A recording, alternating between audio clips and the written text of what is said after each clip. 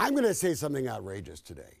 Starbucks, any business, any private business, should be able to send anyone out they want if they don't like the way they look, if they don't feel right. Uh, this whole subconscious racism thing with the Starbucks look, and I don't know the manager, I don't know what's in their heart, right? I don't know whether they thought those guys looked like they might be getting ready to rob the place. I, I don't know, right? But clearly, the white folk in that room defended them, right? And then you have the marketplace reacting.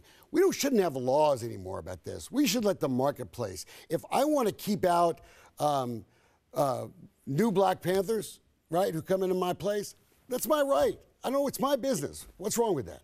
Well, the problem is, what's wrong with that is it's unconstitutional. And it is against the law of the land to discriminate against anyone, especially because of their race. So racial discriminatory practices are not only unconstitutional, they're illegal. But what's discriminatory happened, about it? Well, let's talk about that. You had two black men sitting in Starbucks. They had not ordered yet. And the manager felt that they were two men sitting there who had not placed the order. And the manager got afraid that perhaps they're here for some other nefarious reasons or activity. And so she called, or the manager called, the police. The police came, arrested both men for trespassing. Because they refused they, to leave. But they told the police we're waiting on a third person before we place our order. While the police was there, the third person walks up and that black man was arrested. This was nothing more than a classic case of racial profiling. And now Kevin Johnson, the CEO of Starbucks, who's been a quote unquote big time liberal supporter, is now saying, I want to meet with you and let's find a good way to fix this problem. Well, what's wrong but with yet, that? the CEO, Mr. Johnson, will not fire the manager for the racial profiling and calling those black men to be caused victims of an arrest that was illegal and false. That manager should not only be fired, Starbucks should cover all of the legal expenses for those brothers being falsely arrested.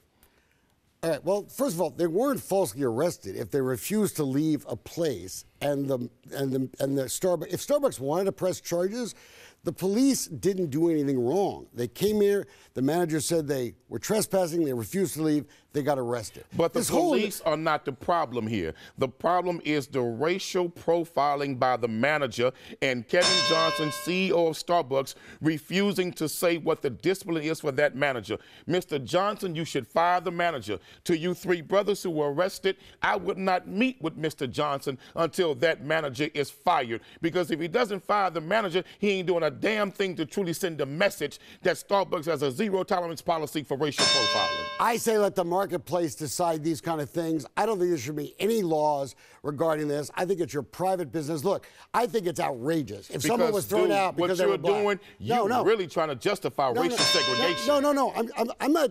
I think it's disgusting that any business would throw at anyone. Thank what you just said earlier. You no, just said they should have a no, right to do it. No, I think a now you want to clean it up now. No, a private company should have the right to say, I don't want you Look, in my business. Go on, go on back home and put on your Klan hood and come oh, back. So everybody on, can really just see the truth. Really? Come on, get your Klan hood and come on back to the set. All right, I'll borrow yours.